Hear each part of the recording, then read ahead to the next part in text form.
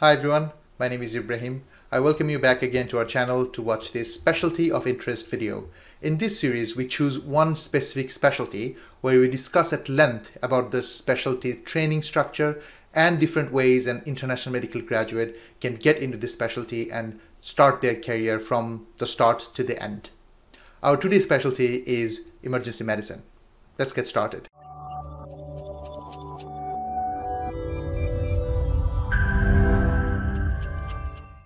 If this is the first time you're checking out our channel, welcome. Basically what we do is we run a website that's totally free known as roadtouk.com and it will explain the ins and outs about everything related to the United Kingdom and what it takes for you to work as a doctor in the NHS. So if you've not already, please stalk us on all of our social media. Find us on Facebook, find us on Twitter, Instagram, and of course, YouTube. Don't forget to subscribe.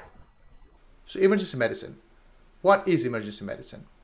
Uh, it's a specialty concerned with initial diagnosis and management of the acute and urgent aspects of illness and injury affecting patients of all age groups with the full spectrum of undifferentiated physical and behavioral disorder. So it's a very mouthful definition from uh, the curriculum of Royal College of Emergency Medicine. But to be honest, in simpler terms, it's the front door of a hospital in the NHS. So it doesn't matter whether the case is a surgical case or a medical case or a pediatric case or a gynae case, it does not matter at all. It's like completely undifferentiated. That means people of all walks of life and all sorts of problems that they want to come to hospital, they have to come to emergency medicine first. So with, with any acute problem, uh, they, they present to emergency medicine. So it's the emergency medicine that receives the patient and they sort the patient out. Like they, if they think the patient needs admission, they uh, contact the medical admission unit if it's a medicine patient. They contact the surgical admission unit if it's a surgical patient.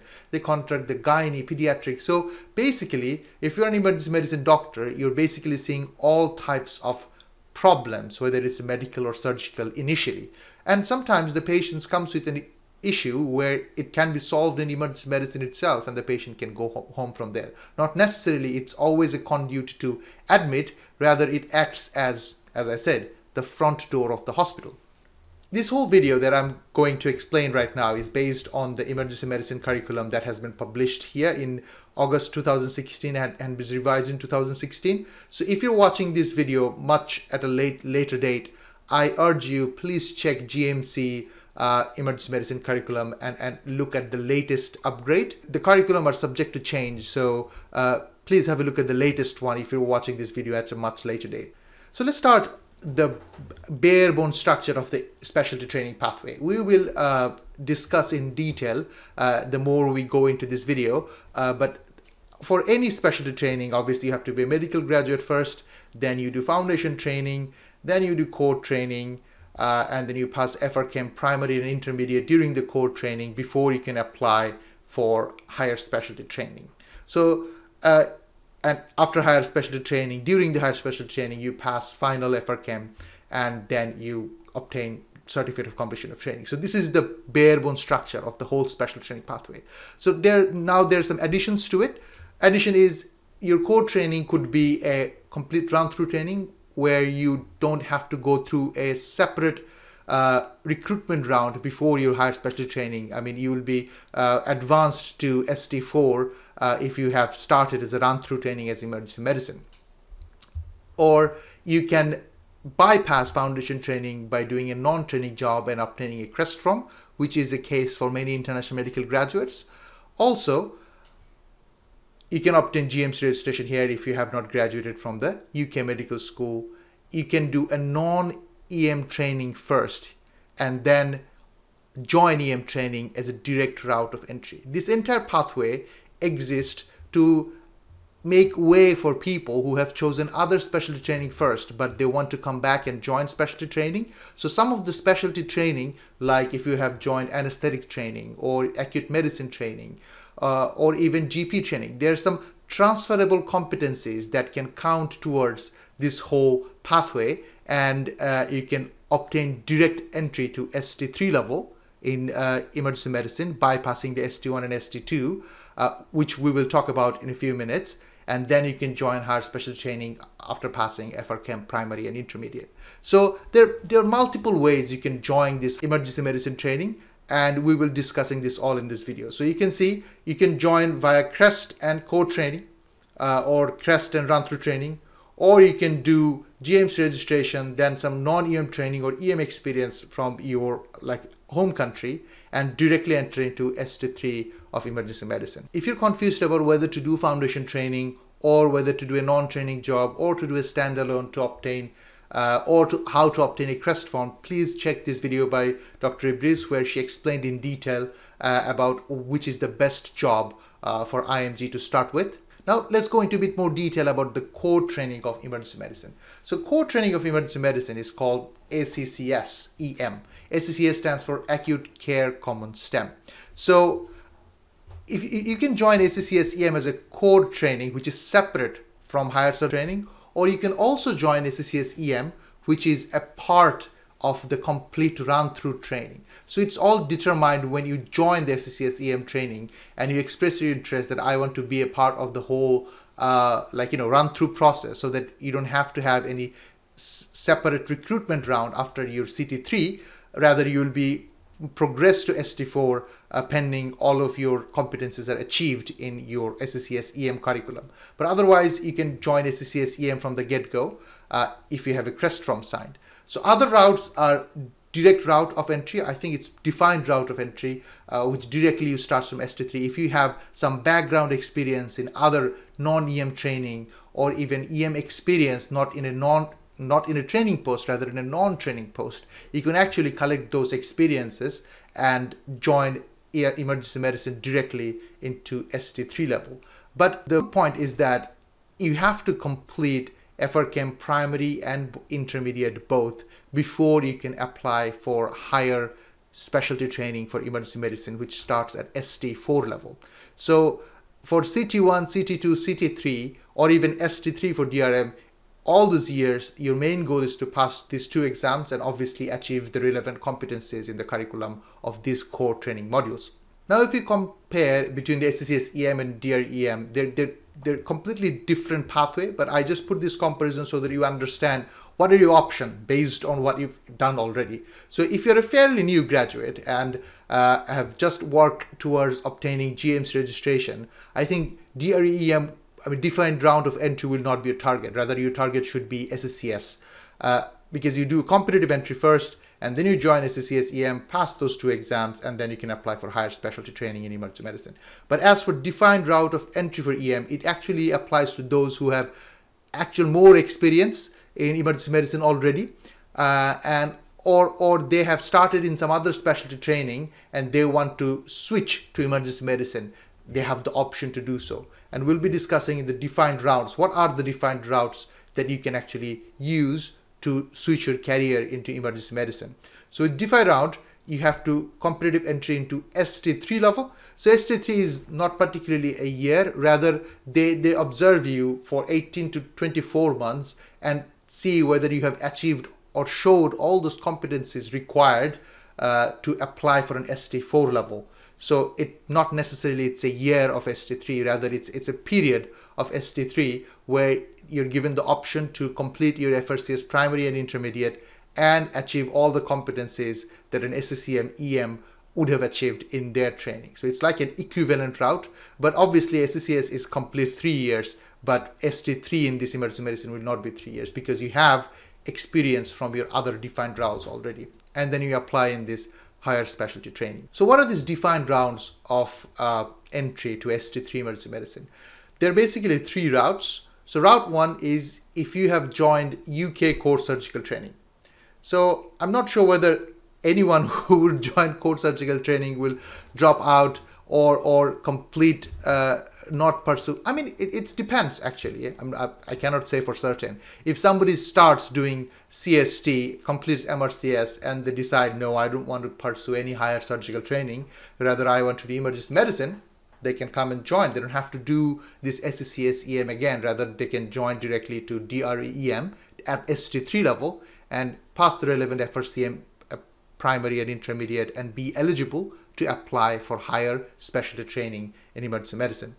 Route 1A is if you have equivalent UK core surgical training. That means you can if you can get alternative core surgical competencies signed off, even without MRCS, you'll be eligible to apply for uh, DRE EMST3 specialties. And the second route basically is if you have minimum 24 months experience in any of the ACCS specialties like anesthesia, emergency medicine, intensive care medicine, or even acute medicine, of which 12 months must be in emergency medicine. So this route is basically particularly more important for many international medical graduates. I'll come around to it in a second. So all this, if you have completed any of this and you can go through recruitment interview and join ST3 EM directly without going through uh, the ACCS EM pathway. So route two is more important because I think a lot of doctors who have home experience of doing emergency medicine and experience in other specialties like ICM or anesthesia and want to join emergency medicine in the UK,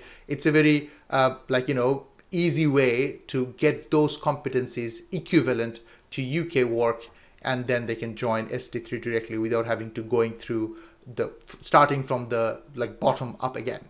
Now let's a bit recap and at the same time a bit more detail about what higher specialty training of uh, emergency medicine looks like. So what we have known so far that there are three types of entry that you can do. One is SCCM core training if you join the core training module. Uh, which is could be three or four years. I think from 2021 the curriculum might change, which hasn't approved by GMC yet, uh, but it's three years now. It, it can become four years. And within this core training, you complete your FRCEM primary and intermediate exam.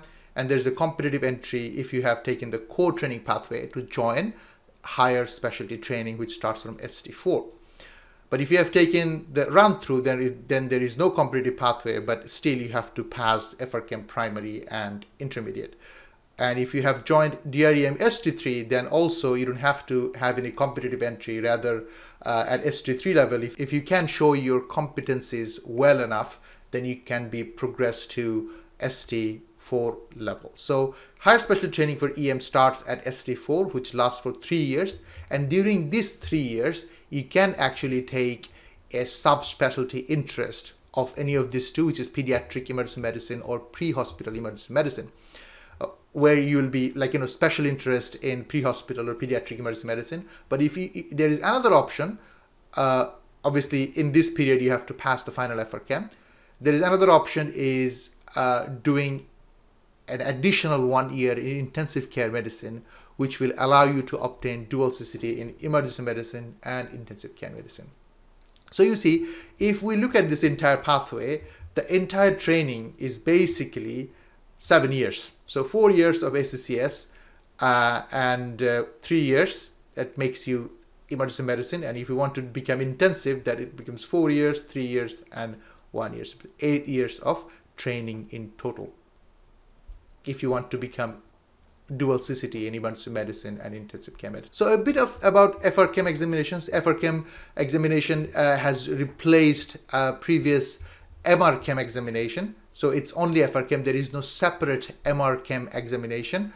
Uh, you can obtain membership because FRCEM is a fellowship, but you can obtain membership if you pass FRCEM primary and FRCEM intermediate SAQ, and they also arrange for MRCEM OSCE. So if you pass those three exams, you can actually apply for a membership for the Royal College of Emergency Medicine. But otherwise, this entire, as you have seen already, this fellowship is the only exam uh, uh, FRCEM is the only exam for emergency medicine training pathway, and they have integrated this to to the curriculum.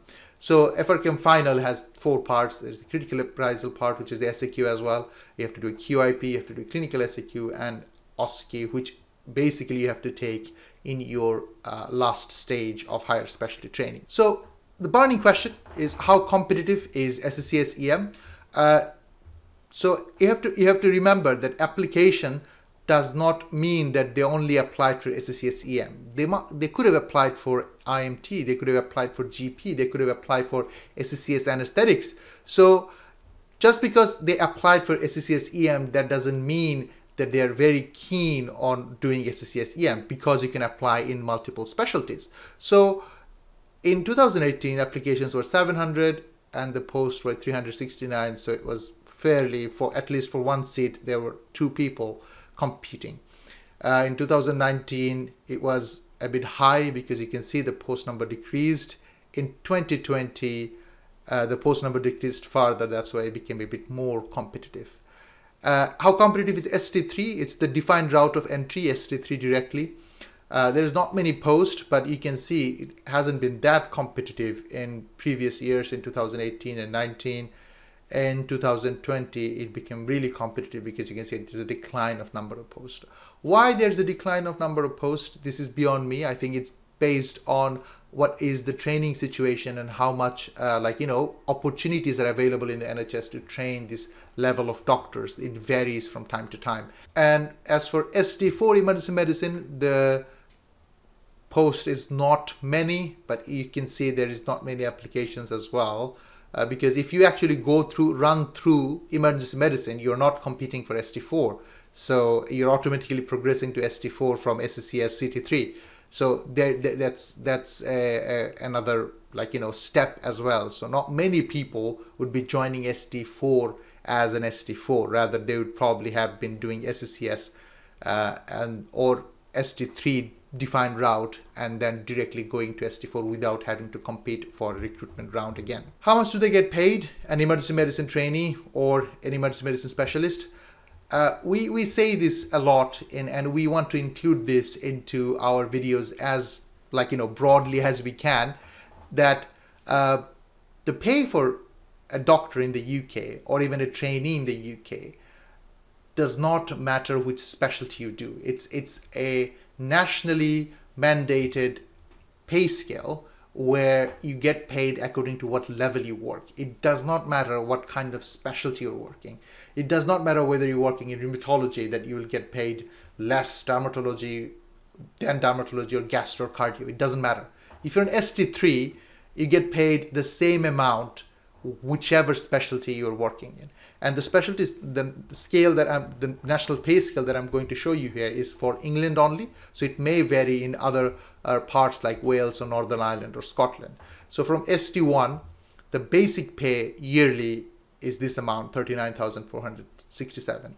As for emergency medicine, you'll probably be earning at least 30 to 40% uh, added more to it because you'll be working a lot of um, on calls and night shifts and out of hours. But this is the basic pay for ST1 and ST2 level.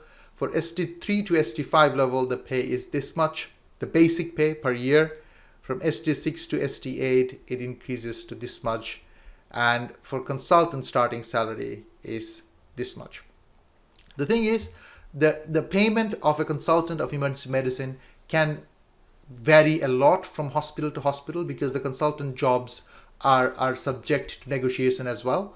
Uh, so there is no fixed salary, but this is the pay scale that this is the minimum amount a consultant would make as a starting salary. What is the maximum amount? I don't know. and I don't think anybody knows. So for IMGs, what would be the pathway? I think it, it's, uh, I'll go a bit more in detail thinking about that IMG can come to the UK uh, in different stages of their career. So let's say uh, they're medical graduate and they're fairly new medical graduate. I think for them, the first step would be to obtain GMC registration. So there are three ways you can, get, I think four ways if you take USMLE route into consideration. There are four ways you can get GMC registration. That's the first thing you have to do. You have to work towards getting GMC registration. Whichever way you get, if you can take PLAB, if you take MRCS, whichever, but you have to take first you have to work towards obtaining GMC registration first. After obtaining GMC registration, you can start a non-training job in the NHS to get into the system, to understand how the system works, and also to get your competencies to apply for later training.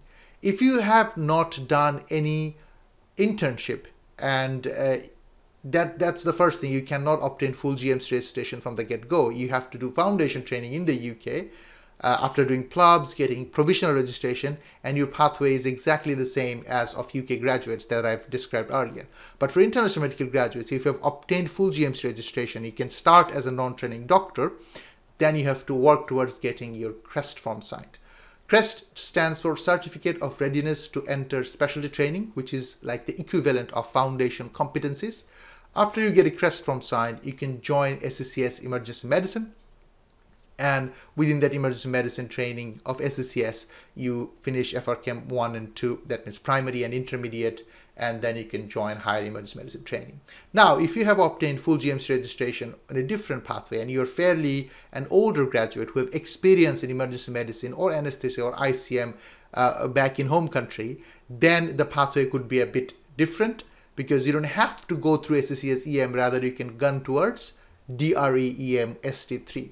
So you can join, if you have done MRCS already, you can join a non-training job, but you still can do the CREST form and join ACCS.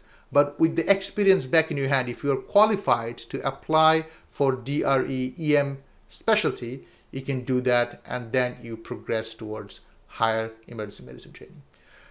So I think I went a bit fast, but I want to emphasize that for emergency medicine training, it's it's it's fairly uh, like you know not that competitive compared to surgical specialties uh, but the pathways are more open. I mean you, you can actually especially the st3 route entry is is unusual for any other specialties. I think this is made to encourage a lot of other specialty trained individuals who can actually uh, have that accreditation of their competencies to this DREM pathway and join ST3 and prove their competencies in ST3 as an emergency medicine registrar and they can progress toward ST4 of higher emergency medicine training. Uh, if you're confused about what is a training or a non-training job, you can watch this video. We have discussed, I have discussed here in more detail about like, you know, what is a training job and what is a non-training job. There is another route of being a specialist directly, which is called CESR, Certificate of Eligibility of Specialist Registration. This is basically for those individuals who are working probably as an emergency medicine consultant elsewhere in the world or who have completed all parts of FRCEM already and they have obtained the fellowship and they have breadth of experience in emergency medicine and they directly want to join the workforce of like you know UK or NHS as a specialist. My advice with whatever experience I have would be to actually start working because FRC, FRCEM will give you GMC registration as a registration to work.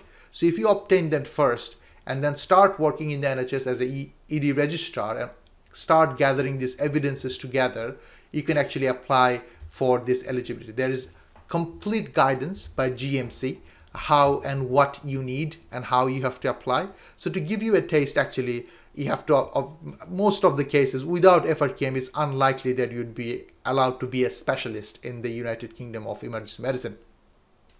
And you have to do some experience in different experience in different specialties. Like you have to have experience in ICM intensive care medicine and anesthesia as well uh, because as a trainee you go through those specialties as well. You have to have a logbook which is there on uh, Royal College of Emergency Medicine website. You have to have some presentations evidence you have to have some courses done like ATLS ALS APLS those courses done. You have to have audits done as a presentation. You have to have evidence of that audit and like you know presentation although you have references from your current consultants. So all this if you put it together gmc has a complete guidance as i said how to put together a csr application uh, this is particularly for those individuals and international graduates who have already are working as a consultant or have completed FRCEM all parts. So we've reached to end of our today's video. If you have any questions regarding the pathway that I just mentioned, I know I've gone a bit fast, but I think uh, I have covered all aspects of what an emergency medicine training looks like in the UK and how an international medical graduate can join to the NHS and actually work their way uh, in the training pathway and become an emergency medicine specialist. If you have any questions, we're always happy to answer. Please ask us in the comment below. There you go. That's all about emergency medicine training pathway uh, in the United Kingdom for international medical graduates. Uh, I hope uh, I have given you all the details for you to know how to plan your career if you are interested in emergency medicine. As I said earlier, if you have further questions, please do ask. And if you have not already, please subscribe to our channel and uh, find us in other social medias like Facebook, Twitter, and Instagram. Stay with us and have a nice day.